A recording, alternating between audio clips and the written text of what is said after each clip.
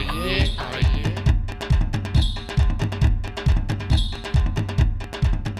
madam I will call you हैं? You will call me by you will call me भाई तुम्हारा uncle हो रहा है हमारा कजिन हो रहा है हमारी बेस्ट फ्रेंड हो रहा है जो मन ने कॉल करेगा गोसिप करेगा हमारे संग। नहीं नहीं मैं तो जीजू हूँ। आई विल कॉल यू अरे मैडम आपने कभी बताया नहीं कि आपकी कोई सिस्टर भी है जिसका एक मिस्टर भी है? अबे हमारी ना कोई सिस्टर हो रही ना ब्रदर हो रहा हमारा। आई एम ओनली चाइल्ड और किसका जीजू है तू? नहीं नहीं मैडम मैं किसी का जीजू नहीं हूँ। मैं तो मैडम कुंवारा हूँ। I will call you madam ये तो कमाल की बात है। मतलब मैंने कुआरा बाप सुना था लेकिन कुआरा जीजू पहली बार सुन रहा हूँ पहली बार देख भी रहा हूँ। वैसे किसने बनाया तुम्हें कुआरा जीजू?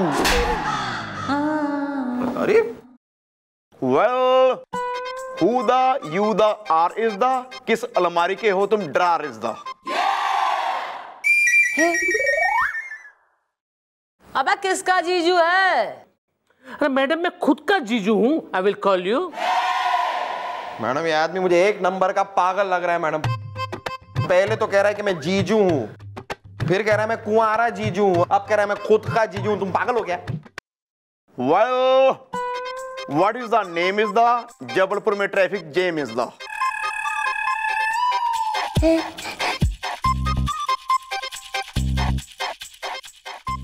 मुझे पता है दादाजी। अरे मैं कब से यही तो कहने की ट्राई कर रहा हूँ कि मेरा नाम मेरा नाम है जितेंद्र जुनेजा। मतलब कि मेरे नाम का शॉर्ट फॉर्म है जीजू आई विल कॉल यू देखो, जो भी बात है वो जरा खुल के, गला खगार के मैडम के सामने कुल्ला कर दो। मेरा मतलब है, मैडम के सामने बोल दो, वरना क्या है कि एक बार हमारी मैडम के दिमाग के सुलग गए शोले और उसके साथ पक गए छोले तो हमारी मैडम एक नंबर की गुर्राती गब्बर। मेरा मतलब है, मैड मोगैम्बो। मेरा मतलब है, बहुत ही गुस्से वाली है, समझे? Well what is the problem is the Delhi में airport problem is the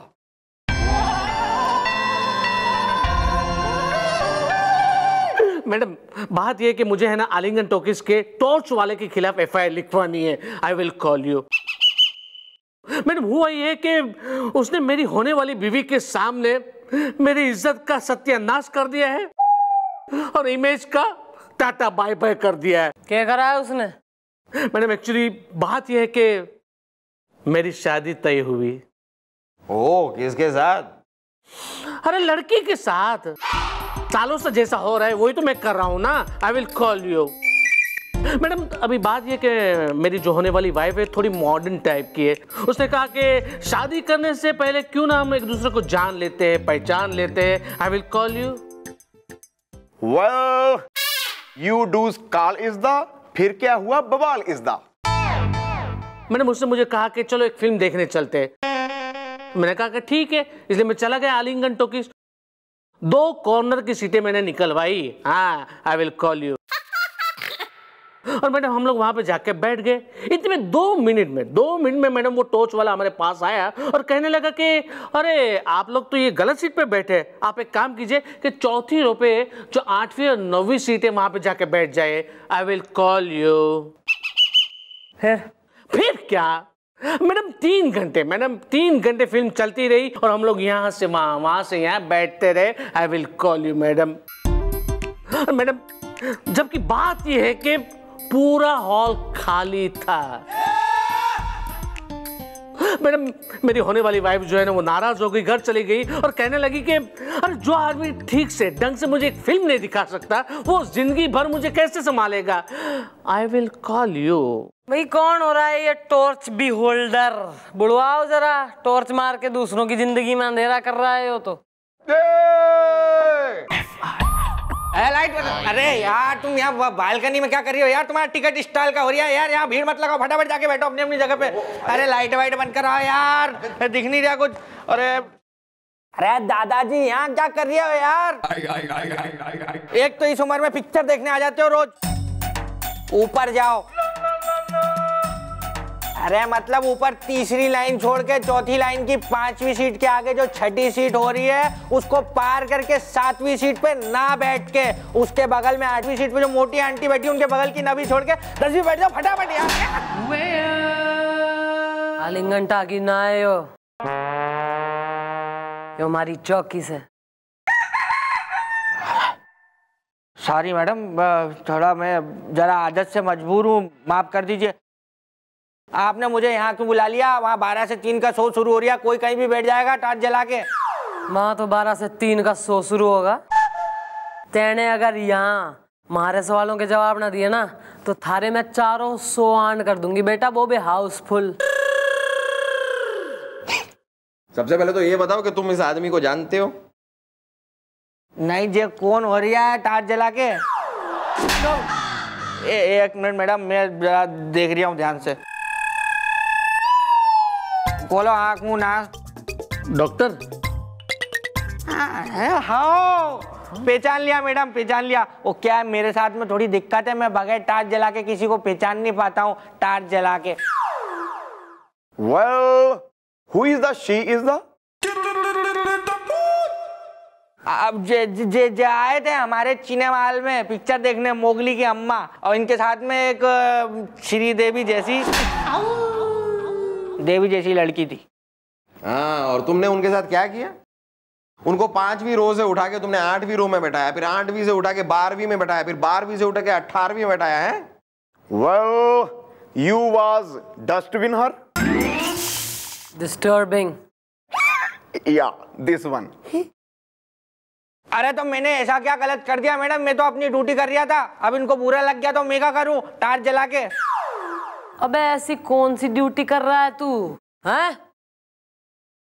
वो बात समझ में आवे है कि एक इंसान अगर गलत सीट पे बैठ जाए तो उसे जो है उसकी सही सीट दिखा दो। yes! तू तीन घंटे की फ़िल्म में सत्तर अस्सी बार इधर से उधर उधर से इधर डुलवा के कौन सी ड्यूटी बजा रहा है अपनी? मैं समझ गया मैडम। मसला ये हो रहा है कि ये इनकी जो टिकट थी वहाँ पे जहाँ सीट नंबर लिखा होता है टिकट में वहाँ से वो फटी हुई थी। तो मैं खुद कंफ्यूज हो रहा था कि असली सीट कौन सी है इनकी कहाँ बिठाऊं इनको?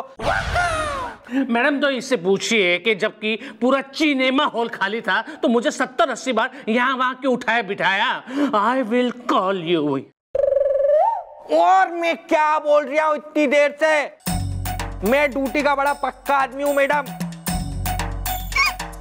इधर तो जे थे अगर मेरे बाबूजी भी अम्मा को लेके आ जाए ना पिक्चर दिखाने सिनेमा हॉल में मेरे उनको भी उठा दूँगा मैं टार्च जला के।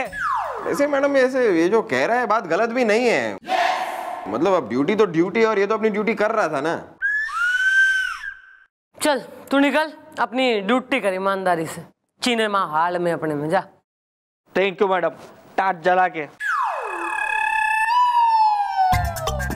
बच्चे का पूरा टिकट लगेगा।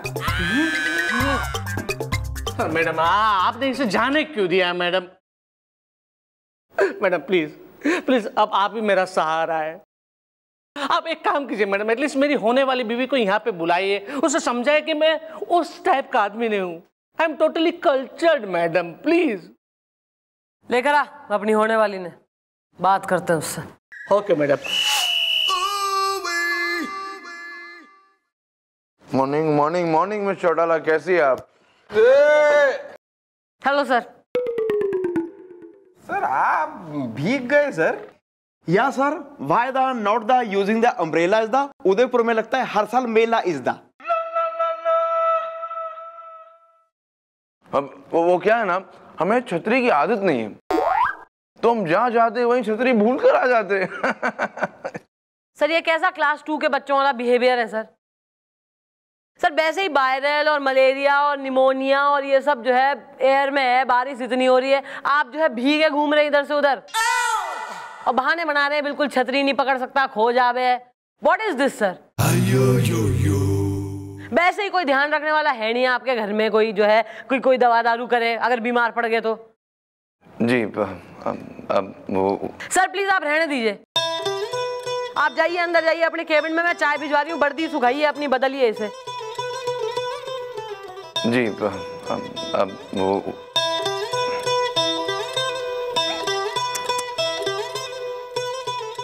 वैसे मैडम इतना भीग के तो लगभग रोज ही मैं और गोपी भी आते हैं लेकिन आपको हमारी तो कभी इतनी चिंता नहीं होती। या भाई ऐसा है कि खद्दर जैसी मोटी गेंडे की खाल वाले कुछ लोग जिन पे सुनामी तक फेल हो जाए बरसात उनका क्या बिगाड़ेगी कुछ? स्ट्रॉन्ग यार you guys are strong man oh madam ये क्या बात है? आपने तो तारीफ़ कर दी। अरे आप तारीफ़ के काबिल हैं सर। जी।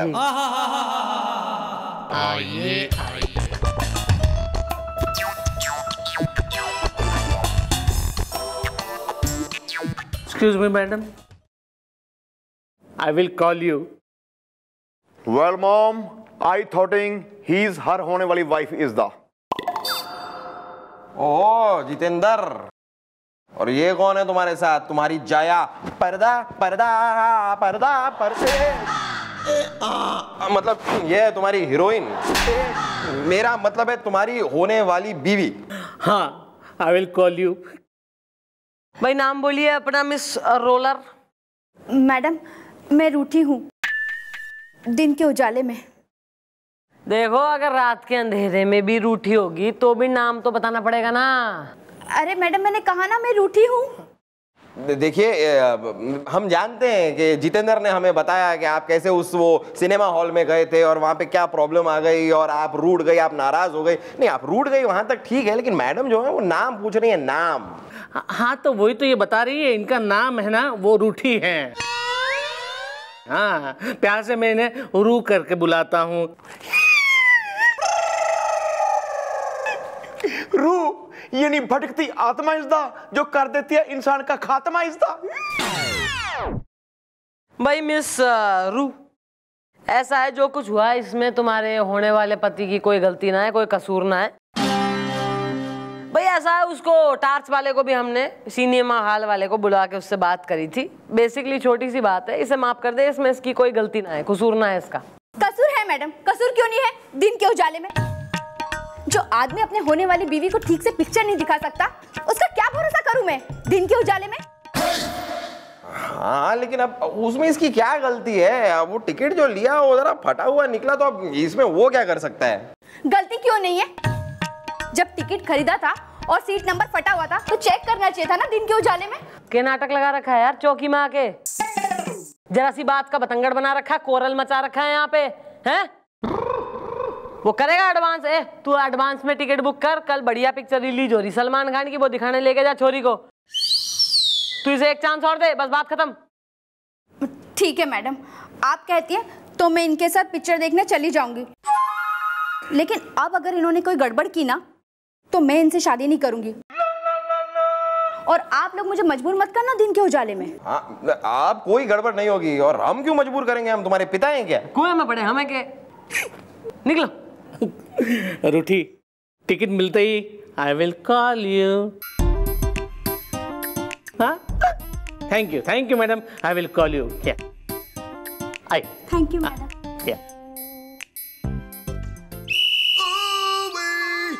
अरे मिस्टर डाला कैसे आना हूँ ये ये क्या? सर मन ने बेरा था कि आप खुद तो छतरी या रेन कोट वगैरह लेंगे नहीं तो मैं आपके लिए रेन कोट खरीद के लाएँगे। स्वीट मिस्टर डाला आप हमें रेनकोट दे तो रही है लेकिन सच कहे हम इसे पहनेंगे नहीं।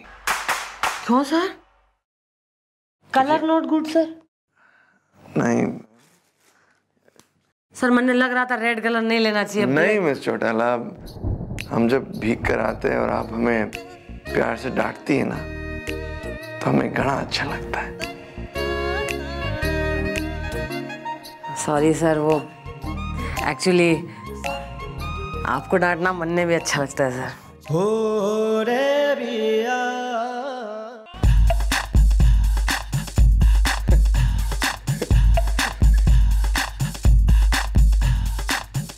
आप कौन है? भाई साहब बहन बहन जी जो भी आप आप, आप हो को यहाँ क्या करने आए हो? सर मेरा नाम है डॉली। मैं ये एफ़ दर्ज करने आया हूँ। तो आप हमारे साथ नाच क्यों रहे डॉली? जी हम आप आ, आप नाचते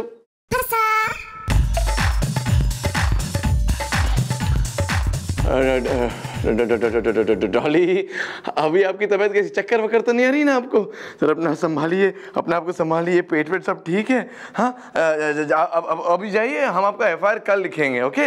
ओके अपनी तबीयत का ख्याल रखना डॉली जी। उसे चक्कर आ रहा था बहुत सारा। गुड फ्रेंड सर हाँ हाँ पुराना दोस्त है हम अब अब, क्या क्या क्या कहें आपसे? अब, ये ये क्या है मुझे डाला? सर मन ने मेरा था आप अपने लिए छाता या रेनकोट तो लेंगे नहीं तो आई बॉट फॉर यू सपना तो सच हो रहा है मतलब ये। नहीं नहीं कुछ नहीं मुझे डाला।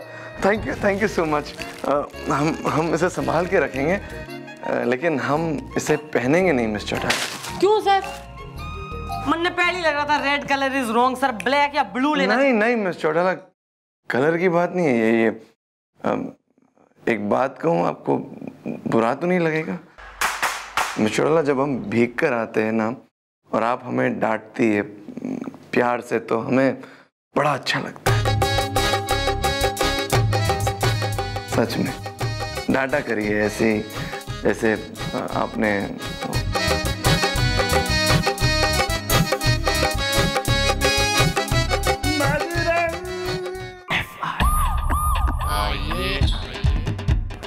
Madam madam madam. हिप क्या हो गया? Well, what is the matter is the? Can I start generator is the? Madam मुझे लगता है इसके साथ फिर कुछ गड़बड़ हुई है। Right I will call you madam अब की बार मैं और रू फिर से आलिंगन टॉकीज में फ़िल्म देखने गए। शो हाउसफुल था। हम लोग हमारी सीट के नज़दीक पहुँचे। तो मैंने देखा मैडम कि दो में से एक सीट खराब थी। माने कि सीट पे गद्दी नहीं थी और उसमें स्प्रिंग निकली हुई थी। आई विल कॉल यू पूरे हाउस फुल वाले हाल में एक ही सीट थी वो भी थारी जो खराब निकली। हाँ मैडम। फिर मैंने वो टॉर्च वाले को बुलाया दिखाया कि देखो ये दो सीट कैसी हैं। तो उसने कहा कि सॉरी मैं इसमें कुछ नहीं कर सकता। आई विल कॉल यू मैंने कहा कि ओके नो प्रॉब्लम तो कोई दो सीट और दे दो जहाँ पे बैठ के हम लोग फ़िल्म देख सके। तो उसने कहा कि सॉरी सो हाउसफुल है। एक काम कीजिए आप सीढ़ियों पे बैठ जाइए और वहाँ से फ़िल्म देखिए। I will call you what rubbish. Okay then I will call you okay दादाजी? और यो सब देख के थारी रूठी और भी रूठ गई और दंदनाती हुई वहाँ से निकल गई गुस्से में। अरे मैडम आपकी बात तो उसने मेरा रिश्ता ही ठुकरा दिया। मैडम मेरी किस्मत ही खराब है। आई विल कॉल यू थारी किस्मत खराब ना है लेकिन किसी की नीयत खराब है। कोई तो है जो चाहता ही ना है कि थारी और रूठी की शादी हो। तेने एडवांस में टिकट बुक करा था और फिर भी थारी सीट खराब निकली। लेकिन मैडम ये जानने के बाद कि ये कौन सी सीट पे बैठने वाला है किसी ने सीट को खराब किया? यस ये कौन हो सकता है मैडम? भाई तो पता लगाना है। हम्म। पुलिस वालों का काम है। चलिए आप जाइए जीजू। घर जाओ हम करते हैं कुछ। Okay I will call you अबे मन ने कॉल वॉल मत करियो I will call you okay चल निकल। सॉरी सॉरी सुनो क्या करना है? yeah अबे तू तू बैठा कैसे? तू टीनेज गर्ल हो रहा है तू बेड पे लेट के टीवी देख रहा है तू। आपको मेरी हर अदा से चिढ़ा है मम्मी जी। हाँ। रिटायरमेंट ले ले घर बैठ। दिख मत मन्ने। मम्मी जी क्या मिलेगा आपको मुझे नौकरी से निकाल के? मैं गरीब आदमी हूँ अबला हूँ। अबे एक बुढ़ाऊ एक जो है एक चमर गिद्ध की उम्र का आदमी मन ने मम्मी जी बोले है मन ने चिढ़ना होगी। ओके दीदी बोलूँ?